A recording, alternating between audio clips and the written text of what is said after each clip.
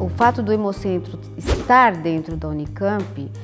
foi um ponto importante para a organização do sangue da região. Eu acho que esse é o ponto mais importante. A gente não conseguiria ter o sucesso que a gente é, obteve em tão pouco tempo, porque na verdade, embora a gente esteja há 30 anos aqui na região, né, na Unicamp, nós tivemos um trabalho é, exaustivo dos primeiros 10 anos de mobilizar a comunidade até que reconhecesse o Hemocentro como centro captador de sangue e distribuidor da região.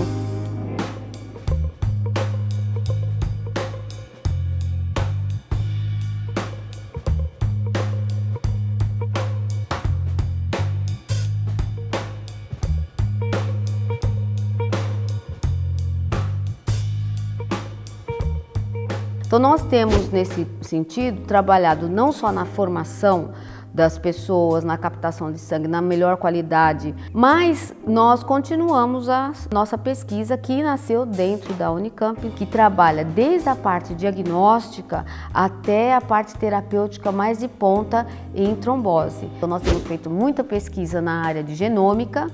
desses pacientes, onde a gente procura, através da investigação genômica, descobrir então que mecanismos estão fazendo o paciente ficar é, ter um prognóstico pior, ter uma resposta terapêutica pior e como a gente pode então ultrapassar esses desafios a partir do, da investigação genômica.